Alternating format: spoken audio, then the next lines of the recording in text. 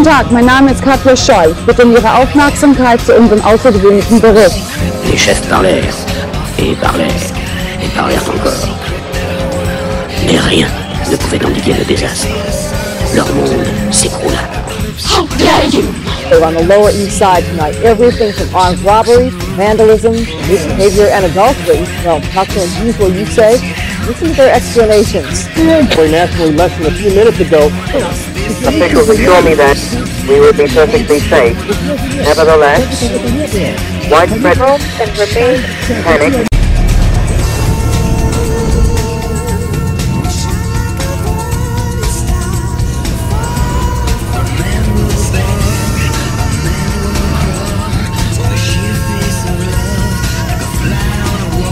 Kami alam dengan negara dan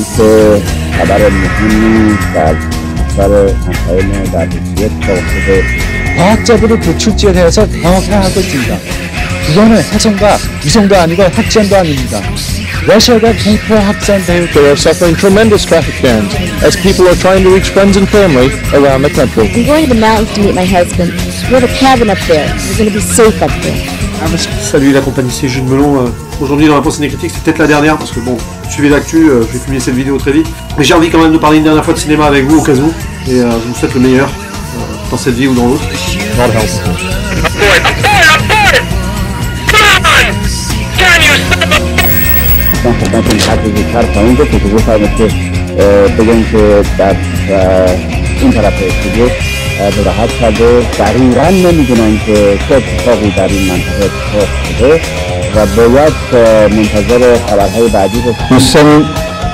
en guerre.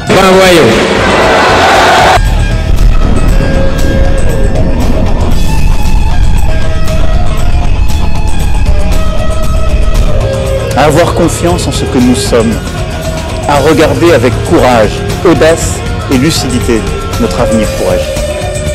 Décidons pour nous-mêmes d'être tout à la fois enracinés dans notre langue, notre culture, notre laïcité et épris de liberté, d'universel, de créativité. Now people will say, that's not serious. Well, the moment is serious. Tell me how else can we tell people where we're, where we're at? The millionaires, the billionaires, the media owners who carry on their life as though the, they're on the Titanic.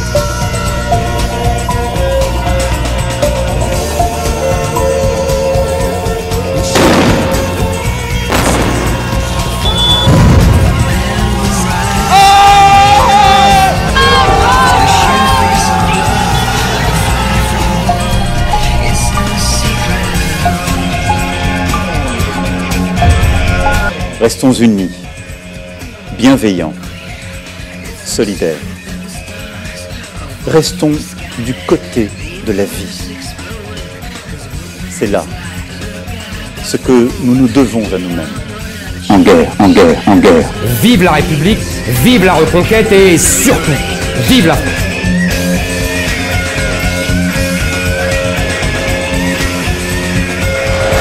Vous avez raison, pas un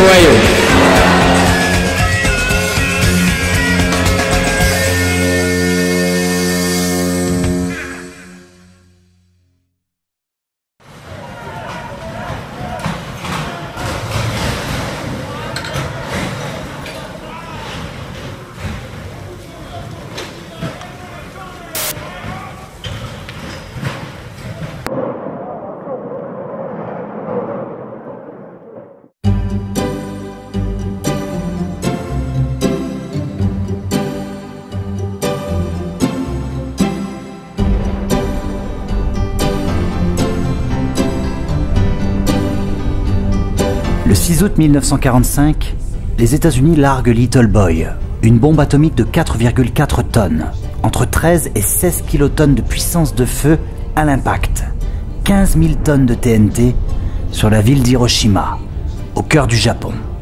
Des milliers d'habitants meurent instantanément, vaporisés par le souffle et la chaleur de l'explosion. Près de 100 000 personnes disparaissent, gommées, carbonisées ou plus tard contaminées par la radioactivité. Cet acte de guerre variablement justifiable contre une population civile est à la fois le début de l'épilogue d'une seconde guerre mondiale qui s'éternise est la préface d'un nouveau cycle de 50 ans, signé par la peur d'un nouveau conflit mondial marqué du saut de l'atome.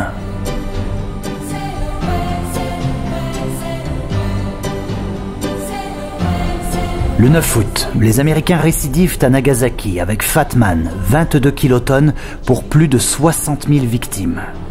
Le monde apprend alors qu'il existe des armes capables de détruire des villes entières, de balayer des dizaines de milliers de personnes en un seul souffle. Les puissances la convoitaient, les États-Unis seront les premières à l'obtenir, déterminant ainsi les règles du jeu international pour les décennies à venir.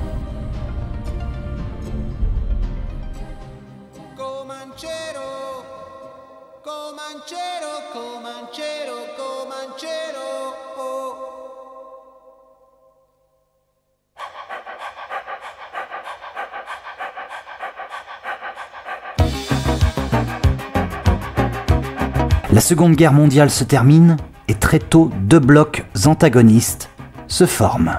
L'Occident, libre-échange, libéralisme, capitalisme d'un côté, et le bloc soviétique, communisme, planification, collectivisme. Et avec ça, forcément, une tension brutale, la guerre froide, où le but du jeu sera d'asseoir une hégémonie, un mode de vie sur le reste du monde. L'arme nucléaire devient alors un outil de dissuasion, que l'on perfectionnera, que l'on upgradera, que l'on gonflera en termes de puissance de feu. Au cas où.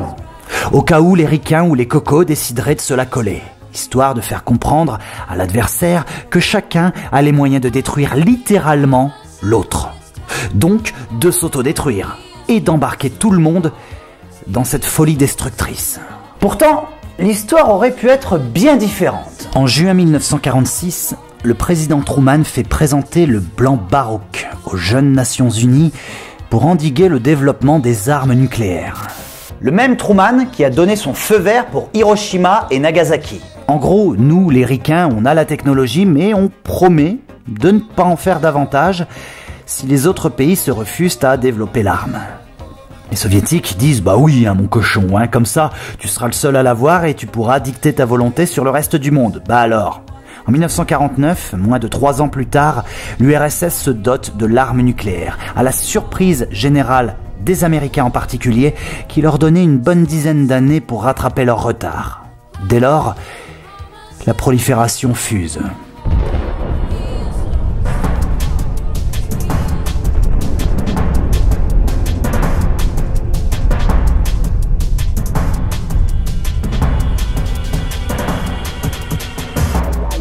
Il existe différentes phases dans l'histoire de la menace et de la peur du nucléaire qui suivent les moments de tension et d'apaisement notables au cours de la guerre froide. Pour ce qui est de la prolifération elle-même, elle se fait sans discontinuité jusque dans les années 90. Au cours des années 50, les États-Unis ont près de 300 têtes nucléaires prêtes à l'emploi. Ils iront jusqu'à 30 000 et plus dans les années 70. Les soviétiques en ont moins d'une dizaine au début, cela finit avec au-delà de 40 000 têtes dans les cartons au cours des années 80. Dans ces cas-là, quand tu dépasses un certain nombre, il importe peu que tu en aies que 100 ou que tu en aies 10 000. Quand tu sais qu'il suffit de quelques dizaines à peine, à peine, pour renvoyer la première puissance mondiale à l'âge de pierre. Aujourd'hui, nous allons essayer de nous interroger sur la perception de cette menace à travers le langage cinématographique. Car si le cinéma n'a jamais été avare de catastrophes grands spectacles, du plus ou moins plausible au plus ou moins farfelu, les exemples concernant la matérialisation d'une destruction par le feu nucléaire sont moins légion dans l'esprit collectif. Pourquoi? Trop réaliste? Trop ancré dans une vérité qui effraie et qui vraisemblablement paraît sans espoir? La première différence, c'est qu'ici, c'est l'humanité elle-même qui génère l'objet de sa propre destruction. Les aliens, les comètes, les tsunamis, les volcans, c'est l'ailleurs. C'est une force extérieure qui n'est pas frontalement liée à nous par nos actes et notre fonctionnement en tant qu'humain. L'arme nucléaire, elle, sans l'action de l'homme, elle n'existe pas. Aussi, elle est intrinsèquement liée à la création humaine, à son pouvoir de domination, à sa quête de puissance. Et tout ça, nécessairement, nous fait glisser dans le discours idéologique et l'intention politique. Et oui, si vous réalisez un film qui dit à quel point l'arme nucléaire c'est une merde, regardez les conséquences, Selon l'époque et le pays auquel vous appartenez, cela dira nécessairement quelque chose sur vos positions idéologiques et donc sur qui vous ciblez au moment où vous parlez. Et au cours d'époques où les gens vivaient cette menace, beaucoup ont tourné le dos aux œuvres que je vais évoquer ici parce que la finalité ne pouvait pas être autrement orientée vers une vision du réel apocalyptique négative et sans espoir, et ce, menant à des conséquences si terribles que les causes elles-mêmes ne peuvent les justifier. Comprendre la menace nucléaire jusqu'à sa révélation, c'est une manière pour l'humain d'intellectualiser sur sa fin définitive. Les limites de sa conscience créative retournées contre sa propre nature, sa fin en tant qu'être vivant. L'homme qui pense et crée si loin et si fort qu'il s'annule et meurt sans l'espoir de trouver une variable à sa propre condition, c'est un discours pesant, difficile. Certains useront de métaphores pour questionner cette nature humaine de guider sa création vers sa propre destruction, histoire que la pilule passe mieux. D'autres en revanche mettront les deux mains dedans, décrivant sans phare la fin de la vie humaine comme un suicide total d'un être infiniment néfaste pour lui-même et pour son environnement. Alors, je vous arrête tout de suite. Hein. Si vous êtes venu chercher de l'espoir dans cette vidéo, vous n'êtes pas du tout au bon endroit. Je veux dire, j'ai une année 2021 de merde, hein, qu'on se le dise. Comme dit plus tôt, il existe deux variables d'ajustement nécessaires pour bien comprendre ce qui est dit et comment cela est dit. Qui et quand. Nous allons donc voyager dans le temps et à travers les pays et observer, par des titres phares, la perception qui est faite de la fin la plus concrète qui fut et qui est par le feu nucléaire de la main de l'homme.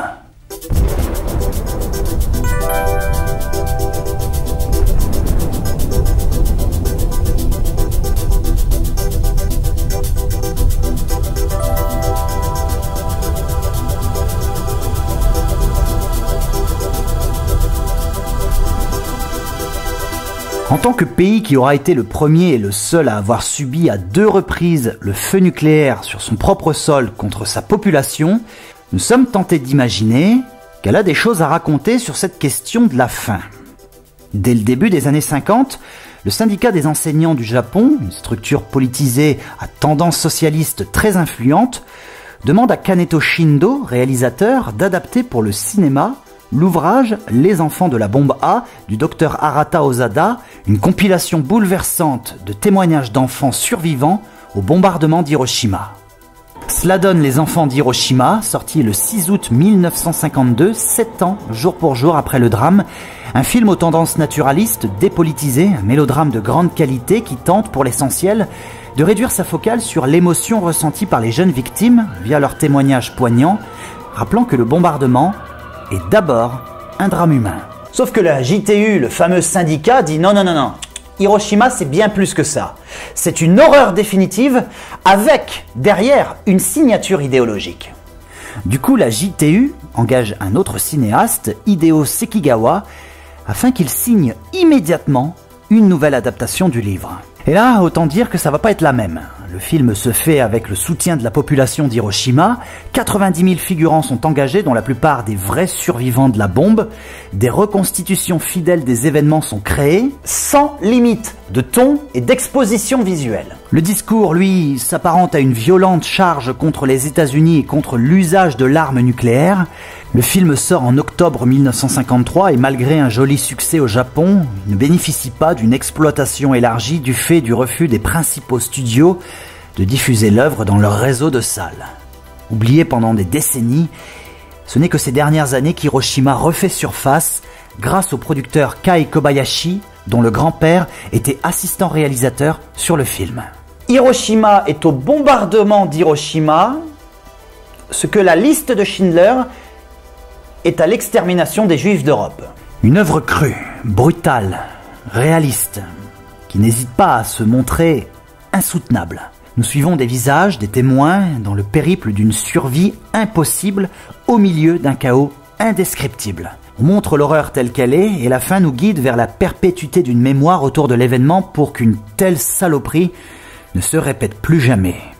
Pour comprendre l'exemple d'Hiroshima, Il faut exposer l'horreur sans s'émouvoir de cas individuels singuliers. Le film balaye diverses situations, les primos morts, hein, ceux qui agonisent, ceux qui vont mourir dans les premières heures, ceux qui vont mourir les jours suivants, jusqu'à ceux qui mourront plus tard des radiations, plus les handicapés, plus les traumatismes psychologiques, plus l'impact sur les vies sociales futures. Hiroshima est un fondement qui révèle l'ampleur du choc du bombardement d'Hiroshima au sein de la société nippone. Croyez-moi, ce choc n'est pas prêt de se résorber.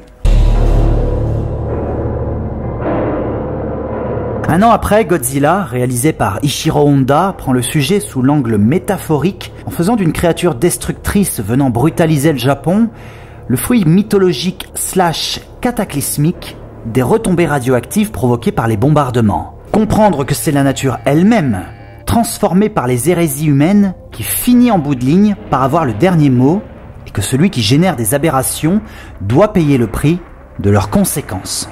Le message est bien sûr beaucoup moins frontal, mais le fait est que tout le monde connaît Godzilla comme la métaphore de l'horreur atomique. Preuve, s'il en est, que la figure de style a son impact. Que l'on parle d'Hiroshima ou de Godzilla, impossible d'oublier que celui qui est à la manœuvre derrière cette saloperie, c'est l'oncle Sam.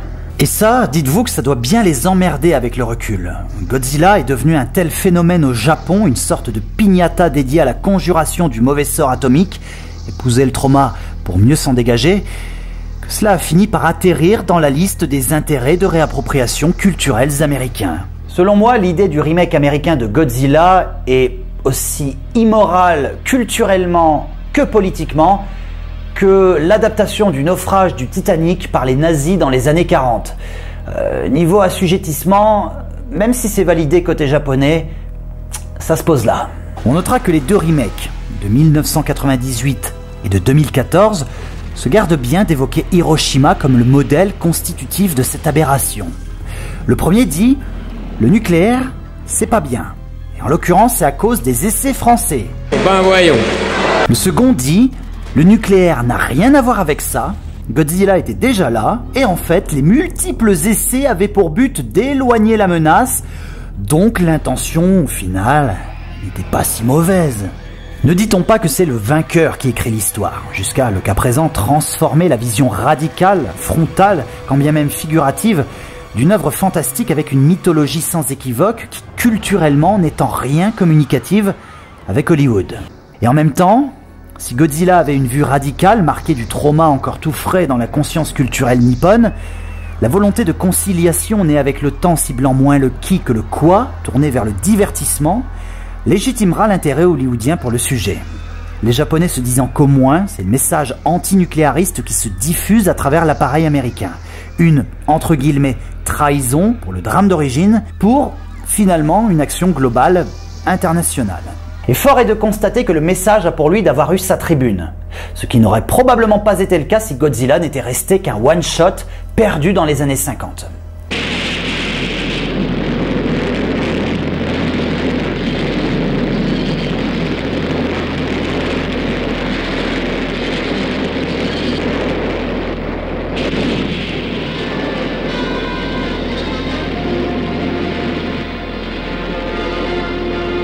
Sekai Daisenso, ou la dernière guerre de l'apocalypse de Shuei Matsubayashi en 1961, est un film de catastrophe globale, projetant le spectateur dans le cadre d'une troisième guerre mondiale provoquée par la tension Est-Ouest et se matérialisant par l'usage intensif d'armes nucléaires.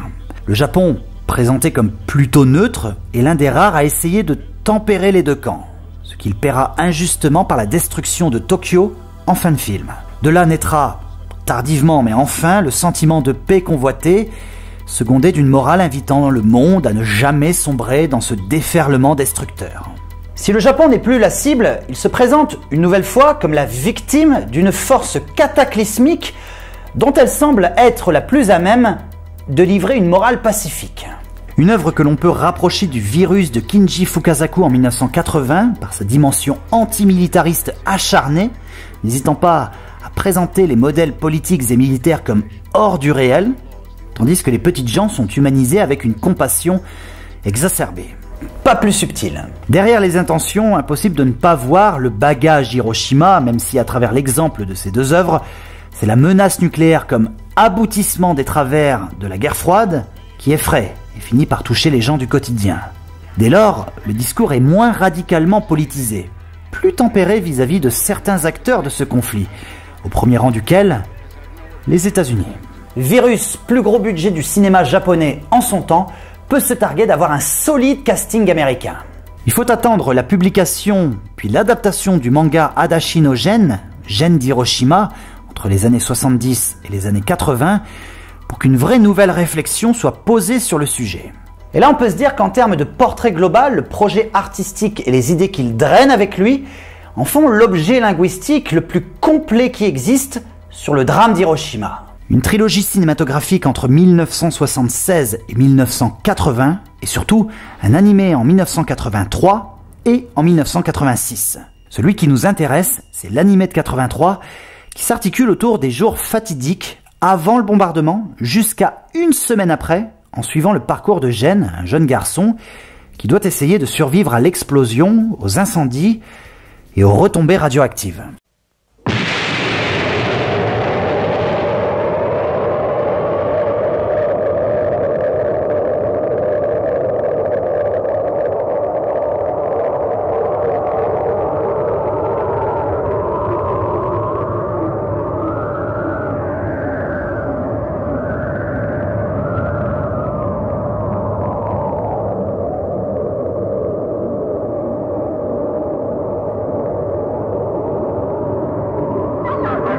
Le film en particulier, le manga dans son ensemble, n'est pas qu'un énième plaidoyer anti-atomique calquant le modèle d'Hiroshima de 53. Là, il s'agit d'adopter une posture autrement plus objective en ne niant pas que le Japon s'est enfermé dans un dogme politique qui n'hésite pas à envoyer ses propres enfants en mission suicide contre un ennemi qui les a déjà vaincus. Le film critique la propagande, le nationalisme, le gouvernement incapable d'avoir pu prévoir Hiroshima et donc de protéger son peuple. Il est donc ici question de motifs moins manichéens qu'à l'accoutumée. Les gentilles personnes contre la vilaine bombe. Il est question de parts grises intérieures menant à une part noire extérieure. Cette remise en cause est salutaire car pour la première fois il est admis que personne n'est totalement innocent dans cette terrible finalité qu'est le bombardement que tout n'est qu'une fuite en avant de personnes en haute fonction, que de lambda d'accepter d'être convaincus par une propagande belliqueuse qui leur retire leur libre arbitre et les laisse démunis face à l'horreur qu'ils n'ont pas vu venir. Évidemment, une telle vision du Japon ne manquera pas de générer quelques remous sur place. Il n'empêche que depuis les années 80, Gen d'Hiroshima est montré aux élèves des écoles japonaises pour leur enseigner ce qu'a été le bombardement de 1945. Future War 1980X, produit par la Toei Animation en 1982, ne s'encombre pas de ces considérations en exposant une troisième guerre mondiale nucléaire entre États-Unis et URSS et consorts au cours de la décennie 80. Le film, contrairement à Sekai Desenso, insiste bien sur la nature globale du conflit et donc ne place pas le Japon au centre du front. Sa force, c'est d'offrir un spectacle destructeur assez brut de décoffrage sa faiblesse, c'est qu'à part dire euh, la guerre, c'est pas cool, après s'être branlé pendant deux heures sur une orgie d'explosion, peut se demander si la posture n'est pas un peu vaine en cette période de reprise des tensions entre blocs. Six ans plus tard, cependant, Akira débarque.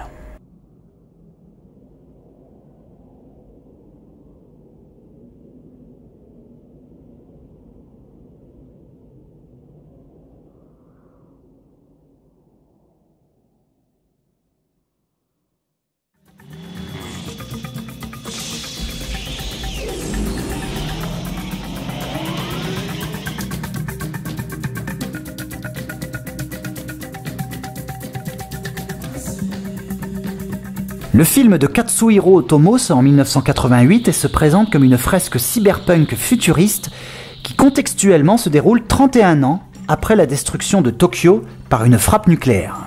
Sans entrer dans le détail de la richesse science-fictionnelle de ce chef-d'œuvre drainant avec lui pléthore de thématiques fondatrices sur l'existentialisme, la création, l'intelligence artificielle, sans parler de l'énorme claque visuelle et linguistique de l'ensemble, Pour ce qui nous intéresse ici, Akira questionne l'impact d'une destruction nucléaire en l'imaginant comme un acte fondateur détournant les règles de la nature pour mener l'humanité dans ce barnum jusqu'au boutiste, un surenchérissement d'aberrations comme le montre l'évolution du personnage de Tetsuo, de jeune garçon né dans l'enfer nucléaire, un créateur d'univers improbables au-delà des connaissances de la nature humaine. Akira imagine l'enfer nucléaire non comme un achèvement, mais comme le trait d'union entre la création naturelle et la création surnaturelle. Le chaos comme point de liaison entre le tangible, c'est-à-dire avant 88, et l'intangible, le présent à Neo-Tokyo jusqu'au final hors de raison. Akira est l'un des rares films à accorder un semblant d'avenir à peu près construit à l'humanité à la suite d'un cataclysme nucléaire. Construit dans le sens d'une possibilité à l'émancipation. Sauf qu'ici, vu que cela mène à une forme de folie destructrice hors du réel, on peut se demander si Akira ne nous dit pas que seul l'irrationnel peut guérir de la violence du rationnel. Et donc qu'à moins de ne sombrer dans la folie totale et d'épouser l'horreur d'un tel chaos, il est impossible de transfigurer rationnellement la destruction nucléaire. Eh, faites pas cette tête-là, je vous ai dit qu'on était là pour déprimer aujourd'hui. Alors on va déprimer. En 1989, Shokei Imamura signe Kurei Ame, Pluie Noire, que l'on pourrait presque directement connecter au Hiroshima de 53 en lui faisant faire une sorte de boucle. Ici, nous nous intéressons aux Ibakusha, les victimes de la bombe contaminées par radiation par la pluie de particules fines qui s'est abattue dans toute la région d'Hiroshima après l'explosion de la bombe. Le long métrage pointe du doigt la société japonaise qui, des années après le drame, a nié le mal à retardement engendré par les effets de la bombe, en ne soignant pas les contaminés au long cours, en faisant porter sur eux le poids de la défaite, en les stigmatisant tels des pestiférés. Au cours des années SIDA, un tel discours trouve une très forte audibilité en Occident, car l'association entre deux visions d'un malade souffrant d'un mal mal connu est assez vite faite. La comparaison s'arrête ici cependant. Pluie Noire nous permet surtout de comprendre que derrière un phénomène d'abord militaire, politique et idéologique, et après l'instant zéro de la destruction, il y a un impact insidieux sur le second et sur le troisième cercle concentrique des individus exposés à l'explosion, dont le mal qu'ils portent infecte le tissu sociétal de la nation. La bombe A est dès lors une bombe psychologique capable de ronger une société qui, comme ces malades tâchant de reprendre une entre guillemets vie normale en essayant de nier les symptômes qui les rongent, nie l'enfer traumatique d'une défaite par un tel écrasement de puissance destructrice. Et fait porter le chapeau de ce trauma sur ceux qui portent sur le visage le drame d'Hiroshima. Le film apporte ainsi l'idée que passer la destruction des corps, c'est la déshumanisation de ceux qui n'ont pas été balayés par l'enfer qui finit par arriver. Preuve définitive qu'une bombe nucléaire est aussi un drame pour la psyché. Que même si, ici, en l'occurrence, la vie continue, celle-ci n'est pas porteuse d'espoir. La vie post-nucléaire, et nous le verrons un petit peu plus loin de manière beaucoup plus édifiante, apparaît pour certains comme pire que la mort elle-même. D'où le fait que le cinéma catastrophe soit incapable de le faire vivre de la même manière que des invasions extraterrestres ou des comètes. En attendant, comme dirait Jerry, le Japon, c'est fait.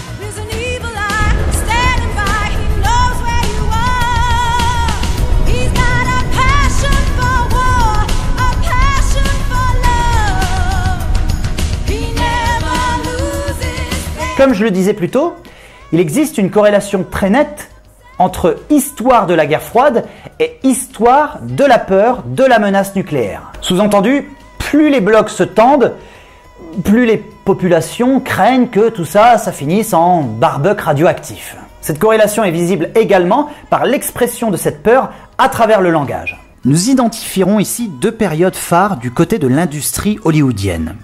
L'une qui s'étend de la fin des années 50 jusqu'au milieu des années 60, et l'autre, moins dense mais plus marquante peut-être, qui est distillée au début des années 80. La première période englobe les plus graves crises de la guerre froide. La crise du mur de Berlin, la crise de Cuba, Suez, Budapest. La seconde, ce sont les euromissiles, la crise soviétique en Afghanistan, America is back façon Ronald Reagan. À noter que si les États-Unis sont directement responsables du drame d'Hiroshima et qu'on peut quand même se dire qu'à travers tout ça, c'est con, quand même bon dos de se préoccuper d'un mal qu'ils ont eux-mêmes matérialisé, il y a quand même deux petites choses à ne pas négliger. D'une part, les nazis et les cocos étaient aussi sur le coup parallèlement aux Américains. Donc on peut se dire qu'on a eu certes Hiroshima et Nagasaki, mais on aurait pu très bien en avoir des dizaines d'autres avant que le cinéma n'ait le temps de s'en préoccuper. D'autre part, le cinéma hollywoodien, comme n'importe quel autre cinéma au monde, se construit comme le portrait croisé d'une politique menée et des préoccupations d'une société. Et en ces temps, l'idéologie défendue, c'est l'anticommunisme.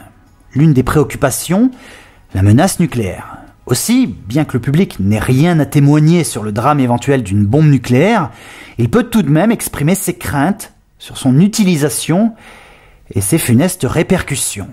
Le premier film notable s'intitule Fire et sort en 1951. Réalisé par Ark Oboler, nous suivons un petit groupe de 5 survivants, 4 hommes, une femme, qui trouvent refuge dans une maison abandonnée après une catastrophe nucléaire. Le film sort en 1951, c'est donc l'œuvre la plus ancienne que nous traiterons à ce propos. Et le moins que l'on puisse dire, c'est qu'il pose des jalons. Sans aller aussi loin que ce qu'on a déjà vu avec le Japon, nous assistons ici à une déclinaison correctement menée d'une œuvre de naufragé dans un contexte de destruction nucléaire. Voyez presque ce film comme une espèce de cote mal taillée, plutôt efficace, voire même avant-gardiste, euh, à une époque où le sujet est encore tabou dans la société américaine. Et oui, car c'est quand les crises seront déjà plus marquées que l'expression de crainte s'affirmera d'autant plus. Il faut attendre 8 ans pour avoir la même année deux grands films à budget osé mettre les mains dans le cambouis. On the Beach de Stanley Kramer et The World, the Flesh and the Devil de Ronald McDougall.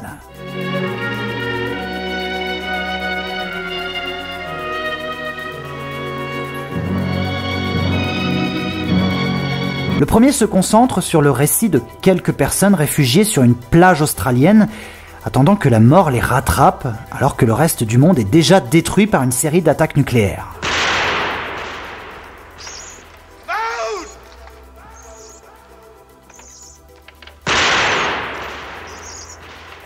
Le second suit un homme accidentellement prisonnier dans une mine qui, lorsqu'il revient à la surface, découvre que le monde a été touché par des attaques nucléaires et qu'il est peut-être l'un des derniers humains vivants. Les deux œuvres mises en parallèle sont intéressantes ici car déjà aucune ne décrit avec précision la menace nucléaire sous un angle, disons, réaliste, factuel. Pour l'un, on est temporellement avant l'attaque, pour l'autre, on est après. Surtout, on se fiche de comprendre comment une explosion nucléaire et ses conséquences morbides se matérialisent. Ici, ce sont les comportements de peur et de crainte que l'on met en exergue. La peur d'un phénomène mortel inéluctable pour l'un, la peur du vide, la peur de la solitude, des bouleversements naturels pour le second. La peur dicte la façon dont les personnes choisissent de vivre leurs derniers instants avant la fin ou leurs premiers instants après la fin. Dans Panic in Year Zero de Ray Milland ou dans Fail Safe de Sidney Lumet, respectivement sortis en 1962 et en 1964, la peur est aussi au cœur de chaque décision prise par les protagonistes. Dans le premier, c'est la peur de la guerre nucléaire en cours qui oblige la famille que l'on suit de se réfugier dans une grotte. Dans le second, la peur d'une erreur tactique risquant de déclencher un incident pouvant dégénérer en guerre nucléaire qui est distillée dans la narration.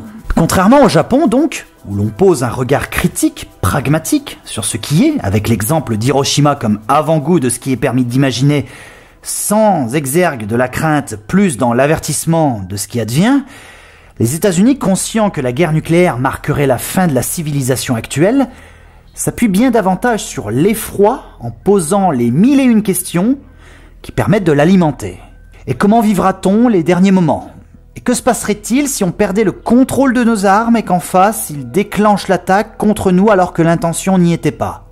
Et comment survivre et comment sauver sa famille? Les films ont beau être excellents, les interrogations qu'ils posent sont relativement simples, relativement, j'allais dire simplistes, relativement peu exprimées, si ce n'est sur des questions qui peuvent être détachées de la seule menace nucléaire comme la solitude, par exemple, dans The World, The Flesh and the Devil. Et en même temps, En cette période de crise Covid, on est bien placé pour savoir que la peur est un phénomène social et sociétal, je vais pas dire politique, parce que je voudrais pas qu'on dise que je suis complotiste. Assez remarquable et détermine tout un patchwork de comportements humains très très très très très révélateurs sur la nature propre de notre espèce. Information coronavirus. Le virus est toujours là.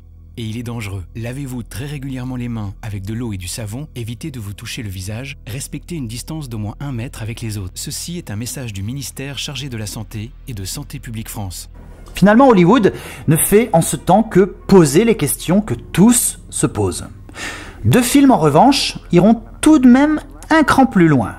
Ladybug, Ladybug de Frank Perry en 1963 et Doctor Strangelove, Docteur Folamour de Stanley Kubrick en 1964. Ladybug, Ladybug nous plonge dans une école où l'on reçoit l'ordre d'évacuation pour cause d'une attaque nucléaire imminente. Dès lors, on suit une classe dont l'enseignante a pour mission d'organiser la reconduite des enfants chez eux. Pour une fois, ici l'enjeu n'est pas la bombe. Surtout quand on sait que le film est tiré d'une histoire vraie et qu'a priori, à moins que je me trompe, aucune bombe nucléaire n'a pété dans une ville rurale du Midwest au cours des années 60. Mais l'étude des mécanismes de la peur d'une menace. Contrairement aux autres films, la peur n'est plus le reflet qui transparaît des interrogations posées ou la conséquence d'un MacGuffin tissé en arrière-plan. Ici, le métrage assume la question. Ce film est un commentaire sur l'incertitude qui se distille dans l'esprit des adultes et surtout des enfants, et jusqu'à quel point il engage le conditionnement de leur comportement. En gros, on se demande plus comment ça va se passer, on observe juste objectivement les individus soumis ou contraints à ce type de questions. Et bien entendu, que des enfants soient entre guillemets cobayes de cette observation comportementale permet surtout de tabler sur diverses réactions parfois contradictoires mises en exergue par l'innocence des protagonistes.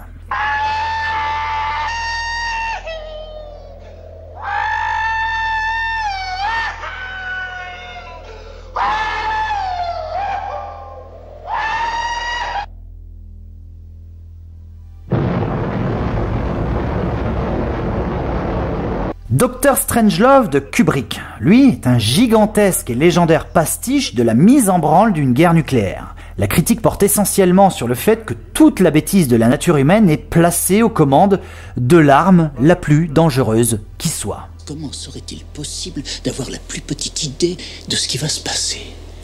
Bah évidemment, à la fin, c'est la guerre nucléaire totale, hein, présentée comme un possible fantasme autodestructeur de puissance imbue de leur propre pouvoir. Et c'est sur cette satire que se termine une phase où la peur a tout déterminé. Bien plus que de s'interroger sur la dimension idéologique que tout ceci encadre.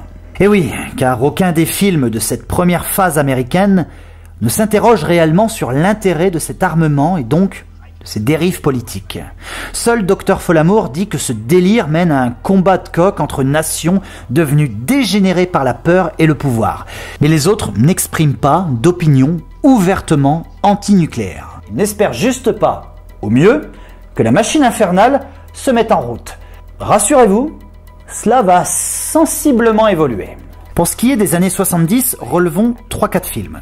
Glenn and Renda, A Boy and His Dog, Logan's Run, Damnation LA, qui tous se déroulent entre 2-3 ans et plusieurs décennies après la guerre nucléaire. La question n'est donc plus de s'interroger ou de se prémunir, mais de constater, dans divers cadres fantastiques, comment l'humain s'adapte vis-à-vis des conséquences engendrées par les événements. Conséquences fantasmées. Nous sommes dans ces quatre cadres, dans des œuvres dites post-apocalyptiques d'anticipation ce qui signifie que la guerre nucléaire passée est surtout présente pour donner un cadre à l'histoire des différents films qui, eux, partiront dans des voies thématiques plus ou moins alternatives. Gardez en tête cependant la détermination de fantasme, car on part de Doctor Strangelove, on traverse ces œuvres post-apocalyptiques des années 70, qui au demeurant sont toutes excellentes, tout ça pour en arriver à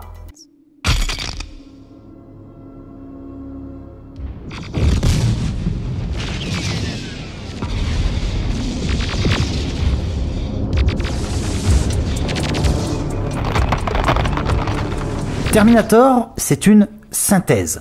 Avec cette franchise, même si nous ne garderons en tête que les deux films de James Cameron, la guerre nucléaire est à la fois un prétexte pour servir une toile de fond, un cadre, comme les films précédents des 70s que l'on a cités, et aussi un enjeu à dénouer par la survie et ou par l'action d'en empêcher le déroulement. Et tout ça pour non pas uniquement remettre sur le tapis la peur de la menace nucléaire, mais les risques des dérives technologiques, quels qu'ils soient, menés par l'esprit humain.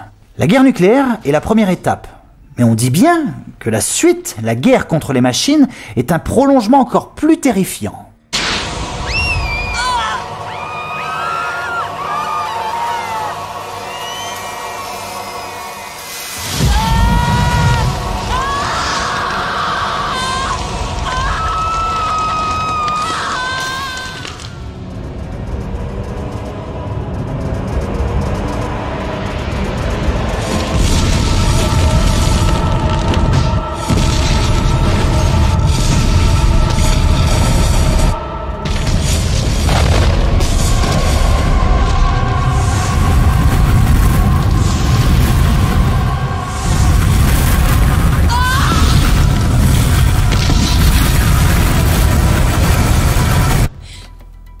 Cameron dit en somme qu'il n'y a bien que dans le présent actuel que l'homme peut se prémunir des catastrophes à venir, parmi lesquelles le nucléaire ne peut être qu'une étape introductive d'une période noire où les égarements de l'homme auraient fini par se retourner contre lui du fait de son arrogance, de sa négligence, etc. Avec Terminator, on fantasme, on rend entre guillemets fun la guerre, et derrière ça, on nous présente des figures charismatiques, christique même, résilient, combatif, courageux, engagé. Bref, les bons côtés de l'humain. Et pris dans le mouvement, nous, hein, en tant que spectateurs, on se sent participatif de ce conflit. Mais il faut pas oublier qu'au départ, la menace nucléaire, c'est la fin de tout. L'après n'existe pas, ou alors l'ambiance n'est pas très disco. Hein. Retirez-moi ce sourire de vos gueules. On est là pour déprimer, je le rappelle. Merde, quand même En 1983, un an avant Terminator, on a deux films qui, pour ce qui est d'Hollywood, parachèvent une vision finalement un peu perdue entre la peur du nucléaire et le fantasme du nucléaire. Testament est un film réalisé par Lynn Littman et narre le destin tragique d'une petite famille californienne de banlieue victime d'une explosion nucléaire. Elle va devoir tâcher de survivre aux radiations, aux bouleversements sociaux, à la mort de proches et d'enfants. Ce film est en ce temps le tout premier à observer la réalité brute des premiers instants après la bombe dans le cadre d'une production hollywoodienne. Ici, il n'y a plus vraiment de place à la métaphore. On évacue le plus possible toute dimension politique, on ne saura d'ailleurs jamais d'où vient la bombe. L'idée est d'essayer de montrer frontalement l'impact d'un tel événement au sein d'une famille normale, type américaine, en jouant bien entendu à fond la carte émotionnelle tout en s'éloignant des poncifs du genre catastrophe. Le film présente également un espèce de sous-texte féministe avec un rôle central comme guide face à l'adversité de la mère et une absence remarquée du père. En ce sens, le fait que ce soit une femme engagée aux commandes d'un tel film apporte une sensibilité nouvelle où l'objectif est moins de comprendre ou d'amener du suspense que d'accepter frontalement les épreuves d'une vie nouvelle dans un cauchemar de désespoir. Avancer ou essayer en maintenant à flot les valeurs d'une famille soudée mais touchée au cœur par le drame.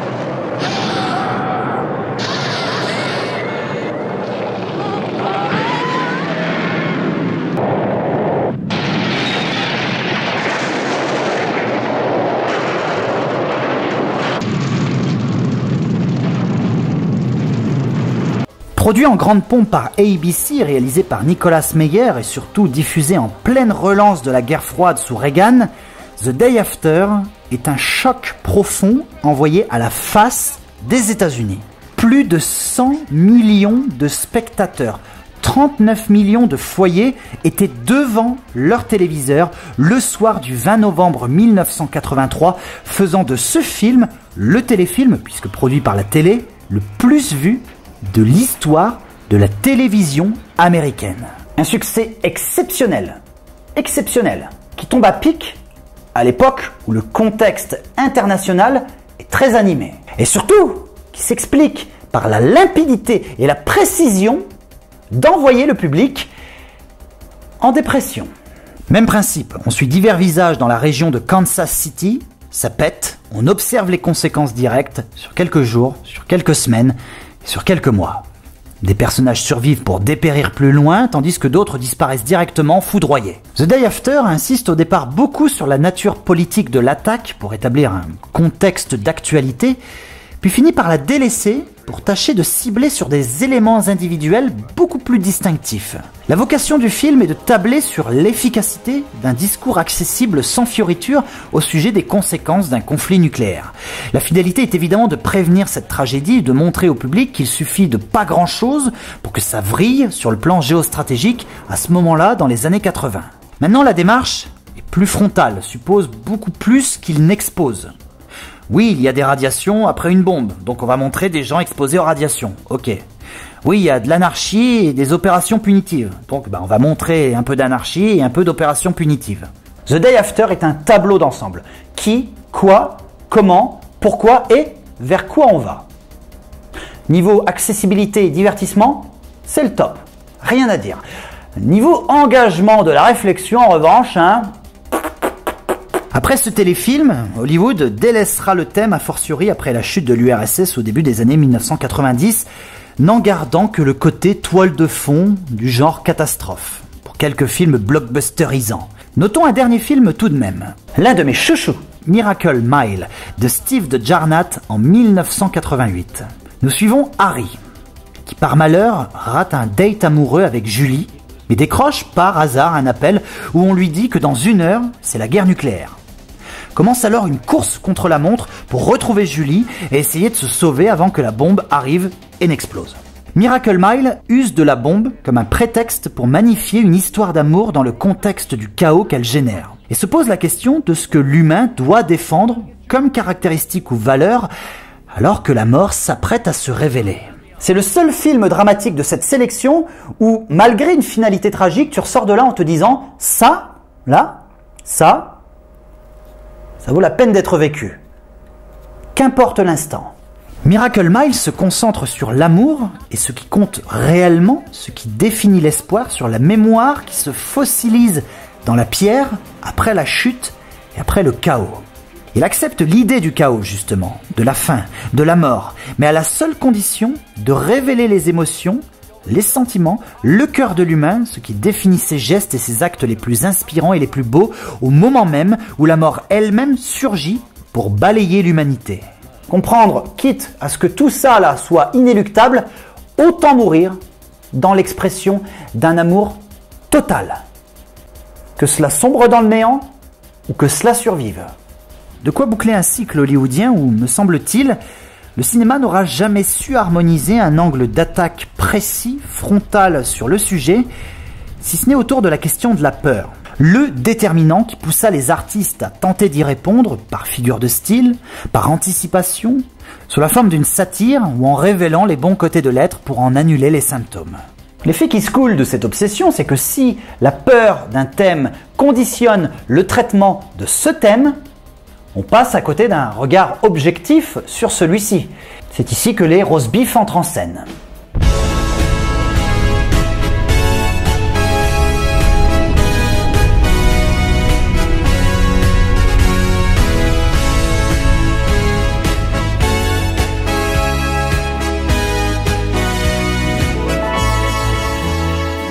Pourrions citer The Day the Earth Caught Fire de Val Guest en 1962, un des meilleurs films catastrophes tournés dans les années 60, dans lequel des essais nucléaires perturbent l'orbite terrestre et précipite notre bonne vieille planète en pleine fif du soleil. Visuellement, c'est très léché, mais ça ne correspond pas exactement à ce qu'on recherche ici, à savoir un assemblage objectif entre ce que l'on sait et ce que l'on risque. Cette pièce a été jouée en trois actes qui, selon moi, sont éminemment centraux. Pour le langage, pour l'observation d'un contexte, pour les interrogations à suivre et pour la force évocatrice. Vous êtes prêts hein, Parce que là, on va sévèrement se faire mal. Euh, si vous étiez déjà déprimé en arrivant à ce stade de la vidéo, c'est le suicide qui vous attend un peu plus loin. J'ai eu assez de problèmes comme ça en 2021, je tiens pas à en rajouter une couche en 2022, donc je préfère que vous quittiez la vidéo si ça va pas là, à ce moment-là de la vidéo. Si vous êtes téméraire, c'est pour les plus téméraires d'entre vous, on va continuer. Mais par contre, moi je veux pas de claim à la fin. Je veux pas que vous me reprochiez, ouais Mathieu, machin, il nous déprime avec ses vidéos, tout ça, ça nous rend triste. On n'est pas bien. euh, L'année, on, on a pris de bonnes résolutions, et là maintenant, voilà. Non, non, non, je veux pas entendre ça. hein. Je vous ai prévenu. C'est bon? Eh ben, on y va.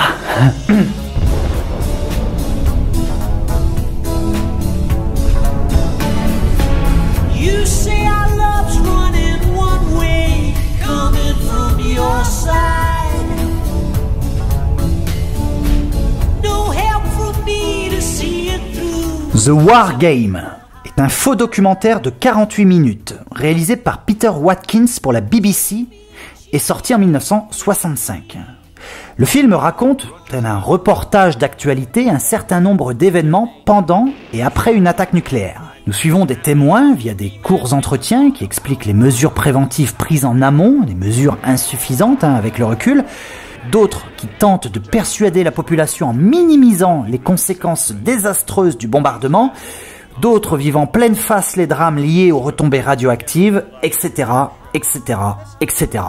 Bien que lauréat de l'Oscar du meilleur documentaire deux ans plus tard, le film est un tel choc que les cadres de la BBC, certainement sur forte recommandation du gouvernement Wilson, comme la rumeur le laisse entendre, décident qu'il ne sera pas diffusé en 1965, mais accrochez-vous bien, bien solidement, 20 ans plus tard, en 1985. La BBC déclarera alors, comme en atteste ce document officiel de la Chambre des communes, l'une des assemblées parlementaires britanniques, que The War Game est trop horrible pour être diffusé. Trop horrible Il l'est peut-être. Ultra réaliste Il l'est certainement. The War Game, outre son format mocu-fiction brillamment exploité par une immersion totale dans le cœur de l'intrigue défendue, est une mise en abîme dévastatrice sur le réel, ou ce qui s'en rapproche vraisemblablement le plus, d'une explosion nucléaire tirant son sujet aussi bien de l'expérience Hiroshima que de la matérialisation concrète d'une peur primale pragmatique. Rappelons que ce film est produit dans la période la plus critique de la guerre froide. Et tente à vouloir interpeller le public sur un phénomène qui est craint à raison pour diverses finalités qui en rien ne sont souhaitables. Par là même, il est question ici de l'irresponsabilité des gouvernants de laisser proliférer une arme qui, si encore pouvait justifier d'une conquête ou aurait pu être défendue par des leaders d'opinion, est ici vue comme un annihilateur.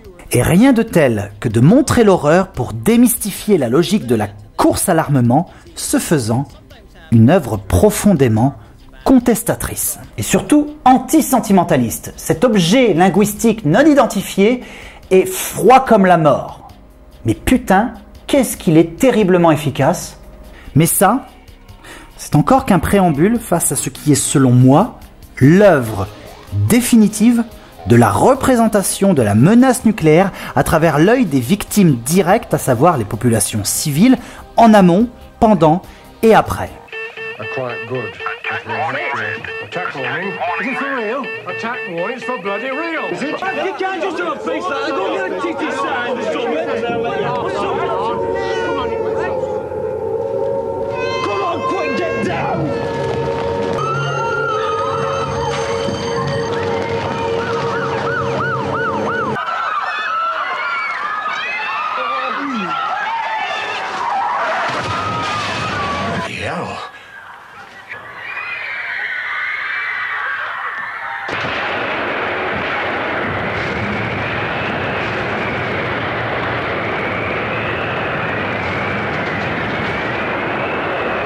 Threads de Mick Jackson, produit par la BBC en 1984.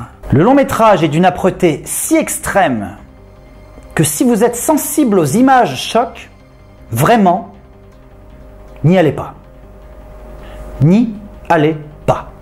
Il s'agit d'une fiction se déroulant dans la ville de Sheffield, dans le centre nord de la Grande-Bretagne, où nous suivons un jeune couple, leurs parents, des proches, vivre leur vie jusqu'à ce que celle-ci soit détruite par une attaque nucléaire. Soviétique, pour pas changer. Tout ça dans une œuvre qui reprend vaguement les codes de The Wargame, comme s'il s'agissait d'un reportage au long cours, étendu sur une dizaine d'années, tout en laissant s'exprimer des scènes purement fictionnelles. Et alors là, on met tout, tout, tout, tout, tout, tout.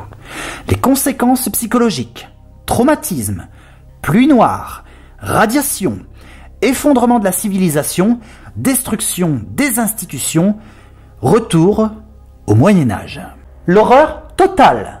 Tout ce que The Day After évoquait comme pour répondre ça et là à un cahier des charges, lui il dit ici, non non mais nous on va faire pareil, on va raconter la même chose, on va faire pareil que The Day After, sauf que nous on va aller beaucoup plus loin, on va essayer de comprendre pourquoi ça là, ça mène à ça précisément.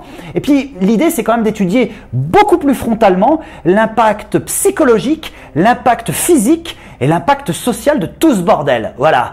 Et on va tout faire, on va faire tout, tout, tout, tout ça sans aucun filtre, comme une gitane. Et le constat final est sans appel. Si l'humanité plonge là-dedans, il vaut encore mieux qu'elle ne survive pas. Zéro once d'espoir, zéro reconstruction possible, aucune résilience, aucun goût à la vie.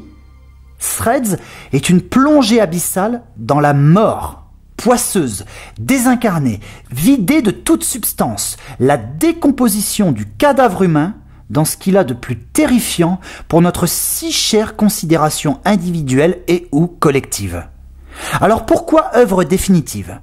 Parce qu'une fois qu'on s'est posé toutes ces questions sur la peur, sur la nature du réel, sur comment fonder un espoir ou faire se reposer la pierre froide du désespoir, une fois qu'on voit et qu'on interprète, qu'on questionne les témoins, une fois qu'on étudie l'impact des retombées, etc., etc., etc., que reste-t-il? La mort. Tout converge vers l'inéluctabilité de la mort et tout son parcours vers elle n'est que souffrance. Tel point qu'ici, la mort la moins cruelle, donc la plus souhaitable, est celle qui arrive le plus tôt possible. Threads est une œuvre dénuée d'espoir, de vie, chaque parcelle d'amour, d'affection, de courage, la création, la renaissance est définitivement balayée. C'est un chef-d'œuvre de réalisme froid porté par une esthétique documentaire qui ne laisse aucune place à la beauté sans pour autant lorgner vers un idéal macabre. Il ne juge pas, il ne célèbre pas, il montre les fruits pourris d'une vision qui ne laisse cours à aucun enchantement.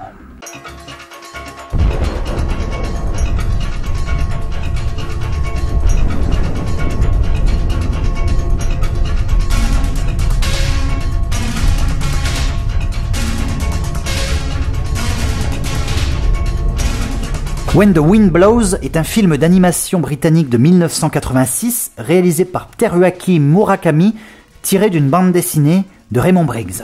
Hybride entre animation traditionnelle de type dessin animé et animation en stop motion, nous suivons un couple de retraités vivant paisiblement dans un cottage du Sussex qui se retrouve pris dans l'imminence d'une guerre nucléaire. Naïvement, innocemment, ils continuent de vivre en acceptant la violence du réel avant pendant et surtout après la bombe. Le film a la particularité d'avoir une grosse bande originale composée par Roger Waters, ex-membre fondateur des Pink Floyd, avec une chanson titre de David Bowie. When the Wind Blows conclut en beauté cette trilogie officieuse sur la convergence entre une menace et l'ensemble des paramètres en découlant, telle la peur, et sa concrétisation objective. Plus poétique et tendre que Threads, il n'en reste pas moins violemment frontal à ceci près que le cercle concentrique du drame qui se joue ne dépasse jamais le cadre de vie et de mort inéluctable de ce couple de vieillards. Le fait qu'il n'ait pas conscience de toutes les saloperies qui découlent d'une guerre nucléaire, hein, la mort lente et vislarde qui vient les chercher là comme ça sans crier gare, rend le film plus percutant certes, mais implique une plus forte empathie vis-à-vis d'eux, espérant que jusqu'au bout, jusqu'au bout, jusqu'à la fin, ces deux personnages vont garder cette absence, ce décalage, cette innocence. Le film est plutôt délicat, malgré sa violence. Il aère un propos difficile par une singulière tonalité dramatique, rendant moins insupportable la perspective de l'inéluctabilité de la mort nucléaire. À titre personnel, je pense que nous sommes face à trois œuvres centrales qui sondent aussi bien la peur que nous devrions avoir face à la menace nucléaire, tout en présupposant que sa concrétisation n'a rien de romantique, n'engage aucune philosophie utile, que la seule focale qui observe l'humanité est celle de la mort, et qu'aucune règle, aucune préparation, aucune loi ou mesure d'urgence n'est suffisamment écrite et applicable pour préserver la vie d'une destruction lente, douloureuse et misérable passé le champignon. Faisons un tour d'horizon d'autres œuvres internationales qui ont tenté à leur tour de raisonner sur la question. En France, citons la jetée de Chris Marker qui utilise surtout la guerre nucléaire comme toile de fond d'une belle œuvre expérimentale roman photographique. Ou surtout, Maléville, de Christian de Challonge, où nous suivons le quotidien d'un village pris dans la tourmente d'une attaque nucléaire. S'il n'a pas la force visuelle de ses homologues britanniques, le film a le mérite de ses ambitions et la volonté remarquable de s'interroger à son tour sur l'après dans une terre française devenue tout autant désespérée et sans vie que n'importe laquelle ailleurs, démontrant que l'horreur ne choisit pas entre communautés et que lorsque un tel drame survient, la raison du plus fort prime sur l'appartenance identitaire. Nous pouvons regretter que le cinéma français ne soit pas allé plus loin. Il y a cependant une explication viable à ce désintérêt. D'autre part, le cinéma hollywoodien, comme n'importe quel autre cinéma au monde, se construit comme le portrait croisé d'une politique menée et des préoccupations d'une société. La France n'a jamais été particulièrement concernée par la menace nucléaire simplement parce qu'elle a traversé les plus graves crises de la guerre froide en se tenant sous De Gaulle dans les années 60, plus ou moins à l'écart, discutant aussi bien avec les États-Unis qu'avec les soviétiques. Aussi, vous l'aurez compris, je l'espère, il ne s'agit pas de roublardise à l'égard du sujet, juste d'une préoccupation distante. Nous pourrions parler de Mad Max, en Australie, qui utilise la guerre nucléaire, ou surtout l'effondrement civilisationnel qui l'accompagne, pour questionner l'humain, son rapport à l'ordre, l'équilibre de son environnement jusqu'à l'effondrement par le chaos, la vengeance primale jusqu'au retour à la vie et la volonté de guider la transmission pour rebâtir un monde meilleur. On en revient ici à une vision fantasmée d'un chaos duquel finit par surgir à la fois une raison justifiant d'une lutte à mener et à travers elle une raison de survivre, d'être résilient impliquant l'idée que l'on peut envisager améliorer l'humanité, tout du moins la rendre prometteuse, espérer qu'elle se magnifie après le malheur. Un peu comme dans Terminator finalement, avec la figure messianique de John Connor guidant l'humanité vers la lumière. Les films sont réussis car ils créent des objets mythologiques modernes parfaitement évocateur, mais sur le propos réaliste, on est quand même d'accord pour se dire qu'il tombe un peu à côté du sujet. Car le but recherché n'est pas là. Mad Max et Terminator ne sont en ce sens pas les deux titres les plus célèbres de cette vidéo pour rien. Ils partent d'un postulat permis par la peur d'une menace bien réelle et déterminent, via une figure prophétique, un tracé défini par l'espérance, sans toutefois s'interdire de critiquer des dérives 100% humaines. Leur nature définitive, fresque, western, science-fictionnelle, postmoderne, en font des modèles indiscutables dans leur genre. Il faut juste bien comprendre que Mad Max et Terminator arrivent à la fin d'un maillage et qu'après ça, il ne peut y avoir que des visions globalistes à la Mad Max ou à la Terminator en moins bien. Sauf à s'en dégager totalement pour évoquer toute autre chose, genre Fury Road par exemple. Le souci, c'est qu'une détermination mythologique est difficile à transcender tant que les problématiques et les contextes de celle-ci restent évocateurs pour l'audience. D'autant plus à une époque où l'on sait que la dissuasion nucléaire a encore un rôle à jouer et qu'une nouvelle guerre froide sino-américaine pourrait réactiver, rebooter, rebooter, ça marche aussi, ces différentes problématiques. Inutile de dire que ces films en particulier en ont donné d'autres par filiation directe ou indirecte, notamment chez les Italiens au début des années 80. Attends, mais tu, n'as pas évoqué la menace nucléaire du côté des cocos, hein? Le bloc soviétique, tout ça. Ah, t'inquiète pas, on va faire ça bien. On va faire ça sous la forme d'un triptyque.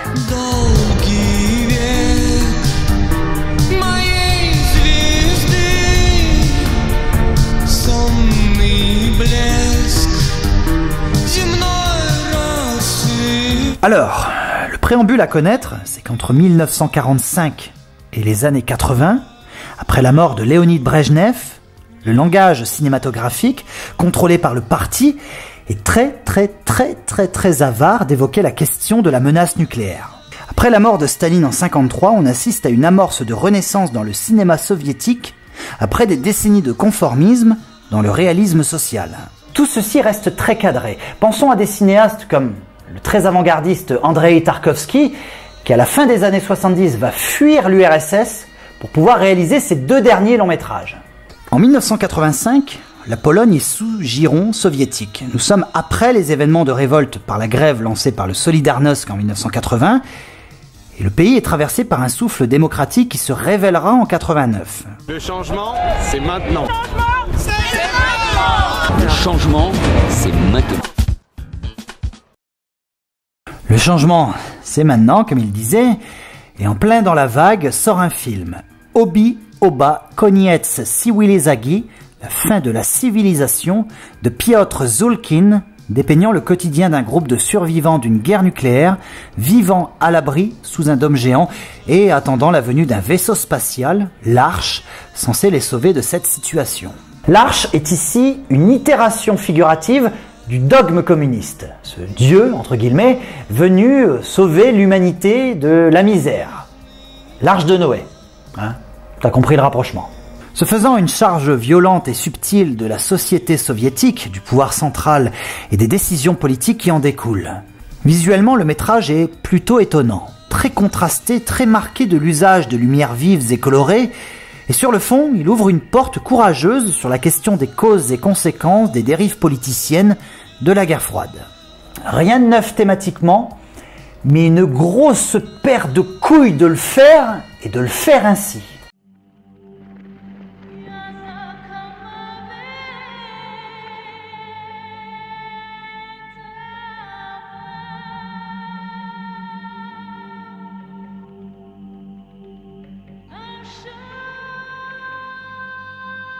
Le Sacrifice est le dernier film d'Andrei Tarkovsky sorti en 1986 et compte l'histoire d'un comédien qui fait vœu à Dieu de renoncer à lui-même si la vie revient comme avant la guerre nucléaire qui fait rage.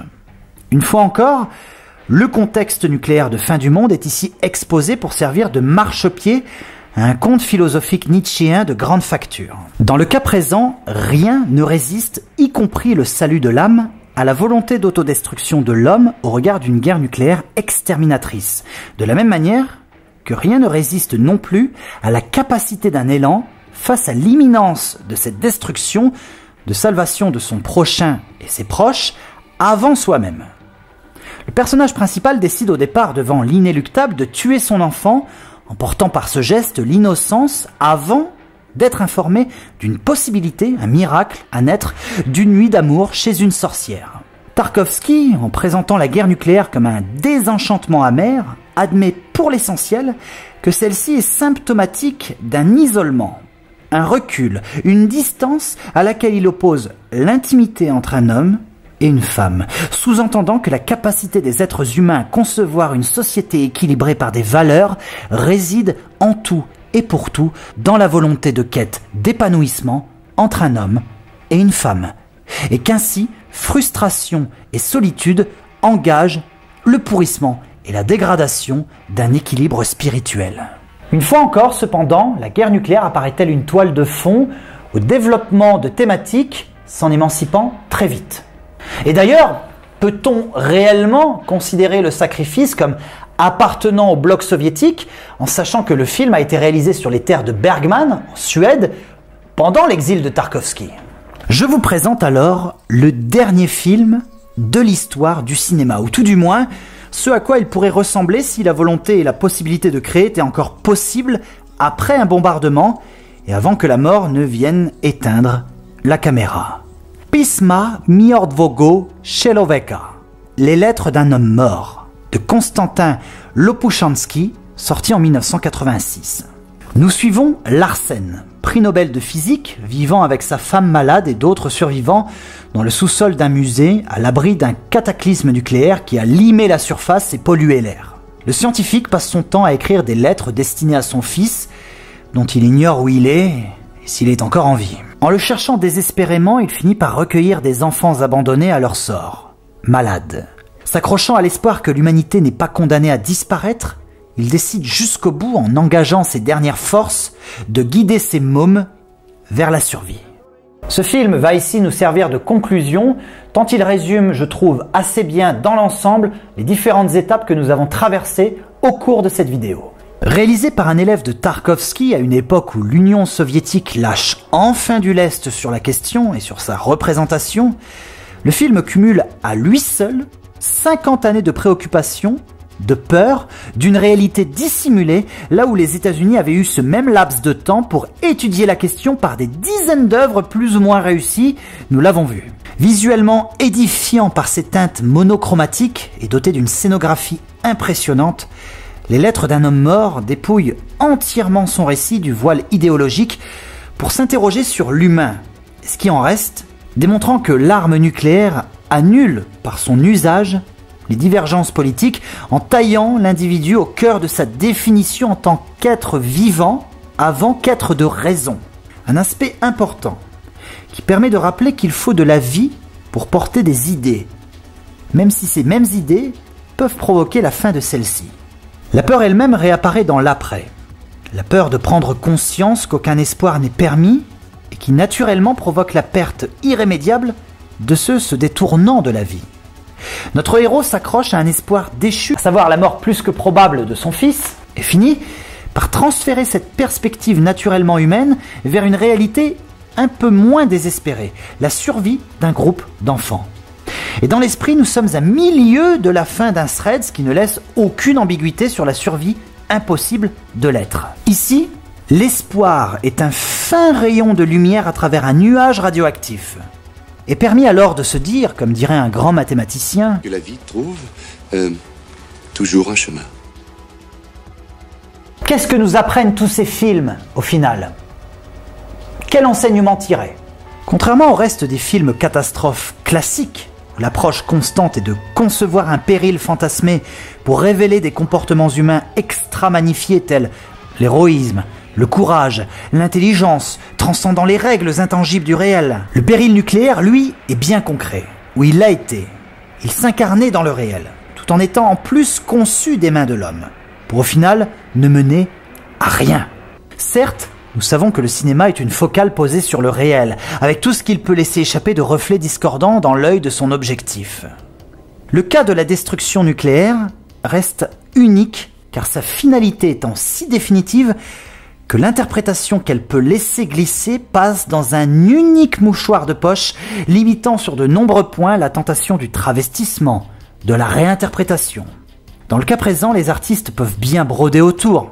Dans tous les cas, le sujet, seul, pris dans le réel, est plus fort que l'observation pouvant en être faite. Selon moi, les titres les plus équivoques sont ceux qui assumèrent frontalement, péniblement, brutalement, d'être eux-mêmes à la merci de quelque chose dont le réel dépasse les pires cauchemars. Ces œuvres sont nécessaires et doivent impérativement être redécouvertes, tant pour leur teneur historique, que pour leur teneur linguistique, mais aussi et surtout pour rappeler que le désespoir offre des leçons que l'espoir ne permet pas toujours. Et qu'en cela,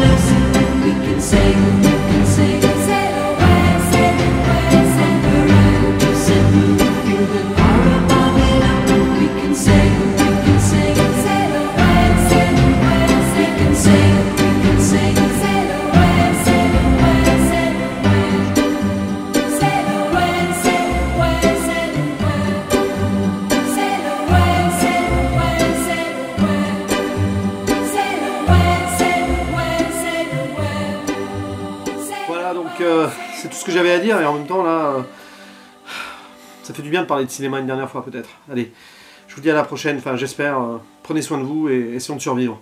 Ciao